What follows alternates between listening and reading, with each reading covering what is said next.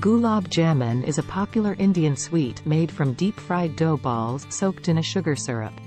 It's a delightful dessert that's enjoyed on various occasions. Here's a basic recipe to make Gulab Jamun. Ingredients. For the dough balls, jamuns. 1. 1 cup milk powder. 2. 1 quarter cup all-purpose flour, maida. 3. 1 quarter teaspoon baking soda. 4. 2-3 tablespoons ghee, clarified butter. 5.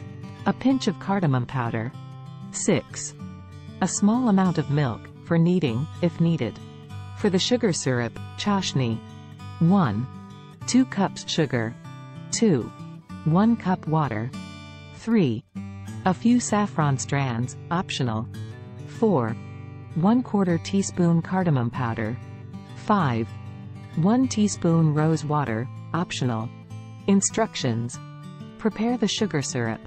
1. In a saucepan, combine sugar and water to make the sugar syrup. 2. Heat over medium heat until the sugar dissolves completely. 3.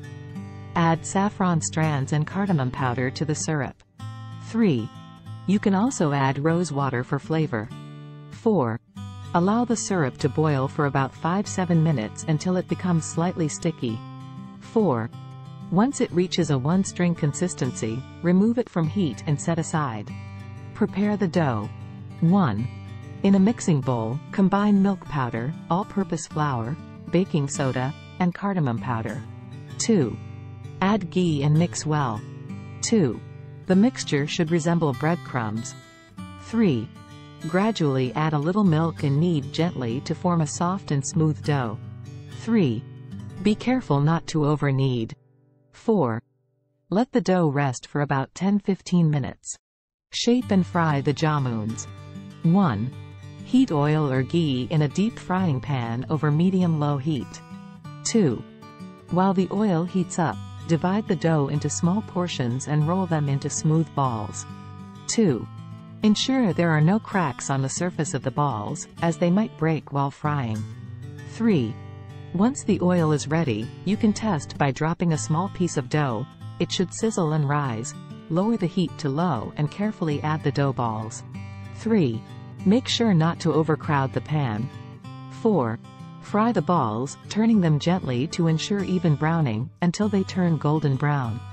4. This should take about 5-7 minutes. 4. Keep the flame low to ensure the jamuns cook evenly from the inside as well. Soaking the jamuns. 1.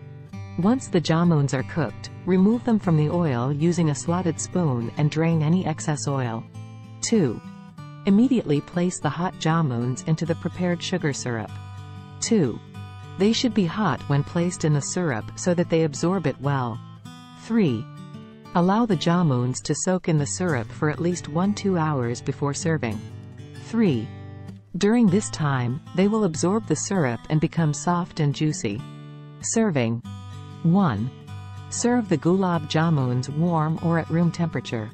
1. They can be enjoyed on their own or with a scoop of vanilla ice cream. Remember that making perfect gulab jamuns might take a bit of practice, especially getting the right texture for the dough and achieving the proper consistency for the sugar syrup. But with time, you'll be able to master this delicious dessert.